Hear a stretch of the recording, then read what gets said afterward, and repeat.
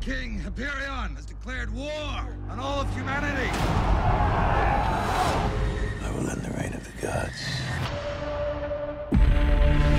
If there is one human who could lead them against Hyperion, it would be Theseus. He does not fear danger. He fears only the failure to defend his freedom. Most interesting things about the world of the Immortals is, in fact, this world, this fictional world that's been created. Um, having said that, can you tell me a bit about your character?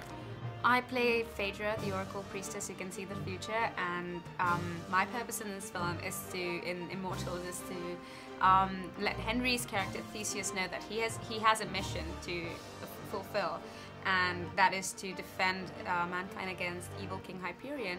And you also have sort of guardians that sort of surround you as well. I, I do, and they're my sisters. They are we because they kind of all uh, protecting me in a way by pretending to be me at one point in time, and and um, I guess the uh, their role in this film is very important because they make a very big sacrifice for uh, the future of mankind. You know, by let, setting me free. Um, yeah, it was nice to have girls on set. I know, I like that, and a bunch of them all together. Yeah, and very, very fierce girls. And yeah. very fierce girls, because Yeah. you guys get to fight too. Yeah, I like they, that. they fight. I don't fight. I pray while they're fighting. They've given me vision. I cannot change the future. You can. That's true. Okay, good correction. And you start off as sort of um, a despot and a thief, and you have definitely your own um, agenda, but then your character definitely comes around and sort of becomes loyal to the cause. Yeah, I mean, I think he just, you know, at first it's like, whoa, who's this beautiful woman that I'm having to sit next to right now? And um, because I don't think Stavros is used to seeing a woman like Freida Pinto walk into a slave train. But um, I think, yeah, it's initial attraction. He's kind of your everyman. He says what he feels. He's kind of the only one in the movie that kind of doesn't have a filter, kind of has a pep to him. Um, but I think at a certain point he realizes, you know, this king's pretty, pretty badass, and we need to. They're gonna need all the help they're gonna get, and I don't want to die alone.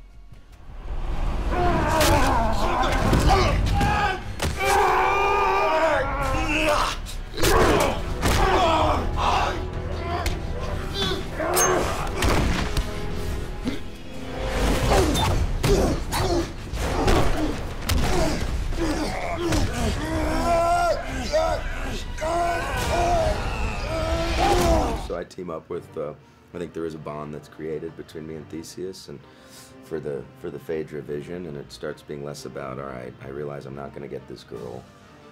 You know, the younger guy got him. You know, got her, and uh, and basically he ultimately helps out. Now, there are some beautiful, beautiful battle scenes in this film. I'm a girl, I normally don't like it, Yeah. but because of the way that it was shot, even as gory as it was, because you're seeing, you know, bodies split in half, it was still beautiful to watch. Can you talk to me a bit about the battle scenes and kind of getting fit for them as well? Because I know that was a big Yeah, deal for this. yeah. The physicality was a big thing, and um, you know I don't do as much battle stuff as as Theseus or, or some of the gods do, but there was an incredible stunt team we had, and I think obviously Tarsem and Brendan, our DP, and again this kind of poetry as he's kind of um, you know probably going really brutal with the violence probably is why certain women are coming in and really liking this movie. It's pretty cool because I've I would seen the agree. finished. I haven't seen the finished film, but to me it feels like our core our core audience is the young male audience, right? Right. But it seems like women are really digging this thing Like too. They are, they are. Actually. They are. Every, every Yeah, scene Tarsem's a every painter. I mean, he painted a huge Yeah. canvas here, and it's like, uh, you know, it's different. But you speak of women, I, I can't get away without asking. You have this beautiful love scene with Henry, who I'm deeming Mr. Yum.